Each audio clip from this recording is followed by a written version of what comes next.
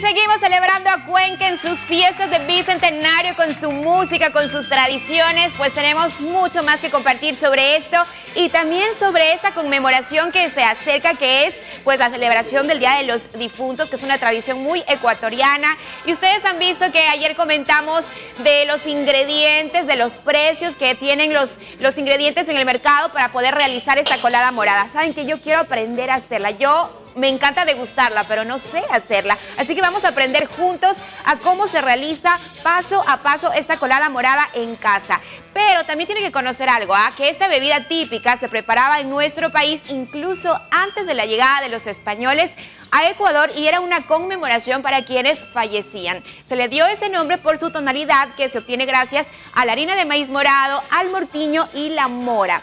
Y bueno, nosotros fuimos en busca de un chef para que nos enseñe paso a paso cómo preparar esta deliciosa bebida en casa, así que vamos a ver lo que nos dice. La celebración del Día de Difuntos en Ecuador viene acompañada de tradiciones ancestrales, entre ellas visitar los cementerios, hacer guaguas de pan y degustar la tradicional colada morada, que según la historia fue creada para celebrar el viaje de la vida de quienes fallecieron y por un feliz encuentro con los familiares del más allá. Y justamente ahora voy a aprender cómo se hace la deliciosa colada morada. Chef, ¿cuál es el ingrediente clave en una buena colada morada? Bueno, la verdad, eh, hay muchos ingredientes. Eh, la verdad, la receta varía dependiendo de, la región, de la provincia donde estemos. Pero lo básico que tiene que tener, obviamente, el maíz de harina de maíz morado por, por su color las frutas tropicales, en este caso piña, frutilla, mora, son las bases y los aromáticos que nosotros le llamamos. Entonces, ahora sí, manos a la obra. Para su elaboración necesitaremos 120 gramos de harina de maíz morado, una taza de cada fruta como piña, frutilla, mora, guayaba, babaco y durazno para la preparación una taza de mortiño, un atado de hierbas aromáticas como hojas de naranja, manzanilla, hierba luisa, ispingo y arrayán, panela al gusto para endulzar y frutas tropicales para decorar. El primer paso que nosotros realizamos es hacer una infusión que ponemos agua caliente, eh, abundante agua caliente y en este, antes de que hierva, colocamos las hierbas y tapamos. Dejamos ahí aproximadamente una hora para que toda esa esencia de las hierbas quede en el agua.